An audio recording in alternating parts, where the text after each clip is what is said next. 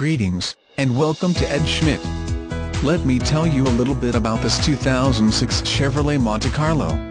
One owner, GM lease turn-in, cloth bucket seats, 3.5-liter 211 horsepower V6 engine, OnStar communication system, power driver seat, cruise control, 4-speed automatic transmission, tilt steering wheel Thank you for shopping Ed Schmidt have a great day.